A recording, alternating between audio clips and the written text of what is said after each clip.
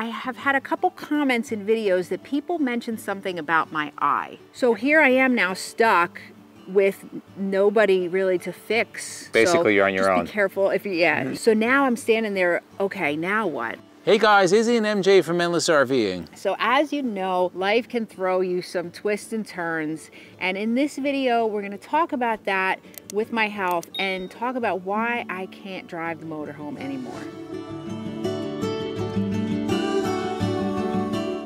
But before we go any further, this video is sponsored by Liquid Spring. Now, if you're looking to upgrade your Class A, B, C, or Super C motorhome with the best suspension system on the market, Liquid Spring is it.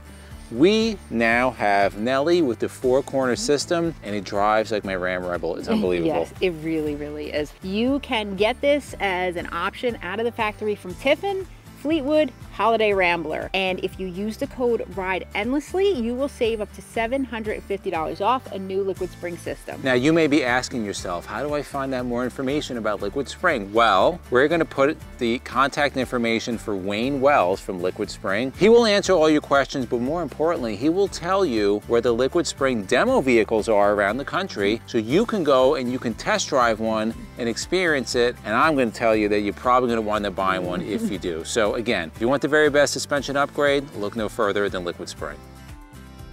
So for those of you that are new to our channel or that have followed us, recently MJ had some pretty significant health issues. Uh, we talked about it on a video, we will link it above. Right, so check that out if you're not sure what's going on, but I, there is some good news on that front. So my heart has been doing great. I did not have an ablation. I'm actually weaning off the heart medication with no episodes, no atrial fibrillation, no racing heart rate. I'm mm-hmm. doing great. I'm running, I'm Exercising, right. Yeah, so it's it's looking really good that I may be able to completely come off the medication and not have any issues. So that's awesome. Unfortunately, there were other things that in that video we didn't talk about that had been going on for a while. So we wanted to share this with you because I have had a couple comments in videos that people mentioned something about my eye that my eye seemed that it was off or something. So that's what this video is going to be about. Unfortunately, that news is not as good right now, but we are hoping for the best.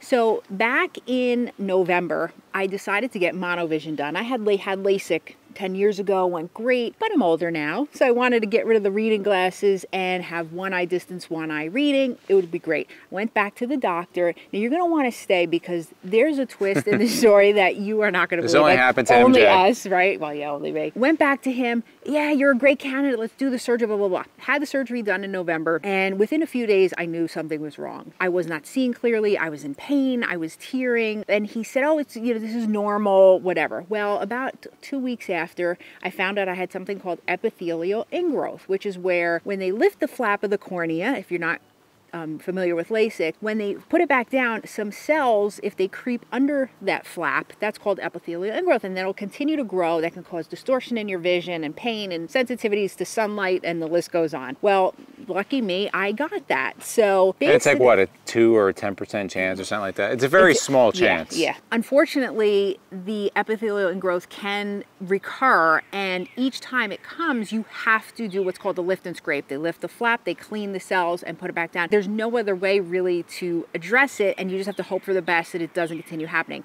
Luckily for my left eye, it happened once, and it hasn't happened since. My poor right eye. It has happened, and we are now on the fifth time. So, the beginning of May, I actually have to go under the knife again for the fifth time. I've had uh, scar tissue develop. I've had other issues develop now because of this surgery. So, I basically have had not really good vision at all for months now. Although your left eye is doing much better. Left eye is slowly starting to come back, but unfortunately, this is my reading eye, the left eye, so I have to wear distance glasses. I went from wanting no glasses to wearing like three different pairs of glasses all the time. I usually don't wear them in videos. Yeah, so vision has been a real issue, and unfortunately, I cannot drive Nellie, and I don't.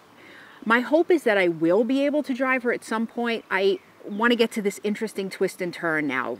So, so I was scheduled to go back to my doctor that did the surgery. He said he was going to fix it for the third time, I think, for the mm, third Yeah. fix. Yeah. And I get a text from somebody who knows the doctor about a week before my procedure and said, Doctor so and so died. Dun dun. died.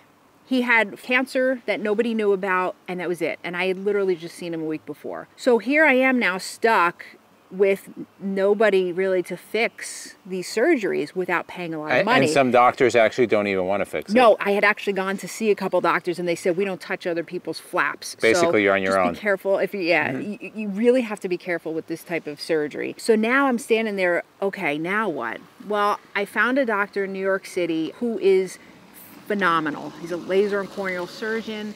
He is fantastic and he has me on the right path and he's hopeful that within he said a year that I should be able to see better. So I can see, I just don't see clearly. If I go in a store, a big store, I can't really make things out. You know, I have to ask Izzy a lot now. You see me sometimes squinting, that's probably why. It's been a nightmare pretty much, but again, the gratitude thing has crept in. So now I'm grateful. If I put on a pair of glasses and I have a little bit of sight, yes, I'm so happy. And again, another thing, I think the lesson, I always learn, what lesson am I supposed to be learning from this? I really think it is to not have instant gratification, that things take time, that I know I'm not going to get my sight back really. Maybe for a year is mm-hmm. what this doctor is saying. Maybe by the meetup you can see the guests. Maybe, maybe, yes. So that's my hope. And again, I try to find the good in these things, but yeah, it's really frustrating. I mean, there's there's days, but I, I do celebrate. Like today, we were driving, and I had my distance glasses, and I could see out of the, my left eye, which was